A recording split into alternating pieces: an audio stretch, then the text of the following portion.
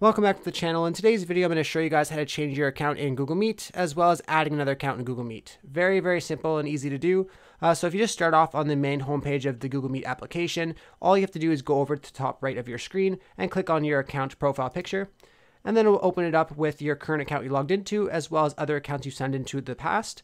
If you're looking just to sign into another account that you signed into in the past, just go ahead and click on that account and it'll immediately sign you out of your current one and log you into that one. But if you're looking to add another account, you can just click on the add another account button and you can either create an account or you can sign into an account that you've never signed into before.